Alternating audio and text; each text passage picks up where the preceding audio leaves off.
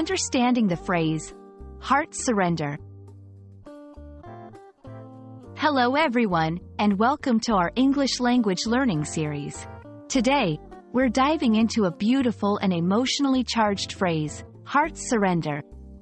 This phrase is not just about the words, but the deep feelings and situations they represent. Let's explore what it means and how you can use it in your own conversations and writing. Heart surrender is a phrase composed of two powerful words, heart and surrender.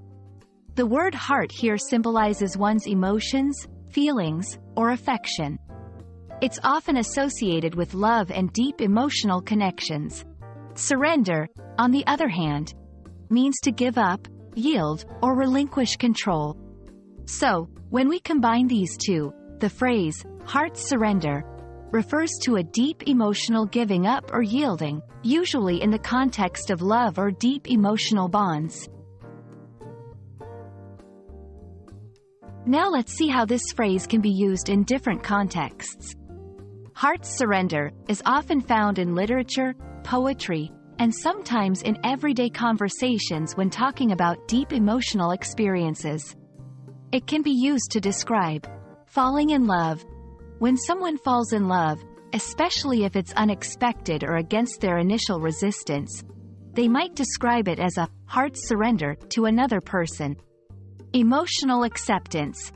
It can also refer to accepting emotions that one has been resisting, like admitting love, forgiveness, or compassion. To better understand, here are a few examples. After years of denial, her heart's surrender to love was both unexpected and beautiful.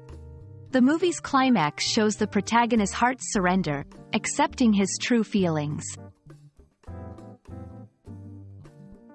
This phrase is quite popular in literature and pop culture due to its emotional depth.